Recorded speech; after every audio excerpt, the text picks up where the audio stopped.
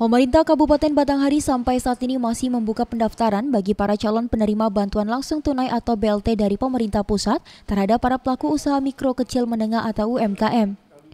Saat ini sedikitnya sudah terdata 2.800 UMKM yang telah mendaftar. Jumlah ini dimungkinkan akan kembali bertambah mengingat proses pendaftaran masih berlangsung hingga minggu pertama September nanti.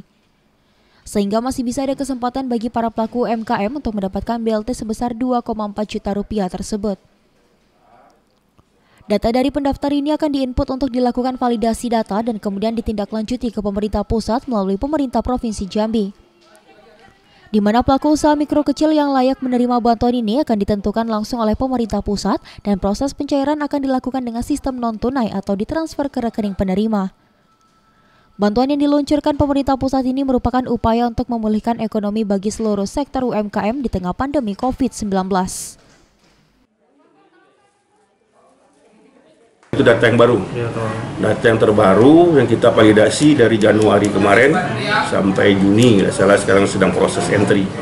Jadi ada dua aplikasi yang harus kami penuhi dengan katakanlah personil atau SDM termasuk perangkat yang kurang yang baru-baru ini kalau salah berapa hari yang lalu baru wifi baru siap ya. itu.